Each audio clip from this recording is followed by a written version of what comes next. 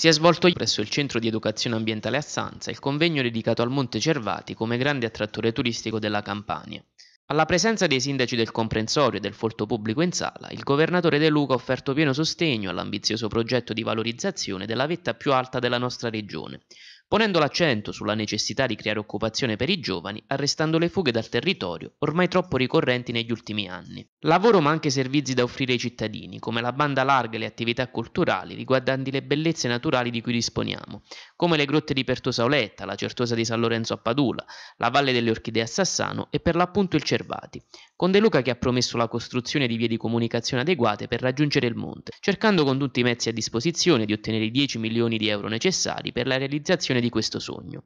Solo in questo modo potrà offrirsi ai turisti un pacchetto turistico unico adeguato.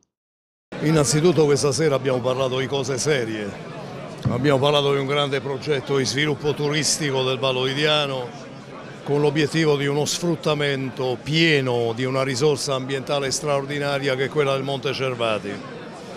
Nel Valodiano abbiamo la possibilità di mettere in piedi un pacchetto turistico davvero di grande livello, dalle grotte di Pertosa alla Valle delle Orchidee, al Monte Cervati, il più alto della Campania, alla Certosa di Padula.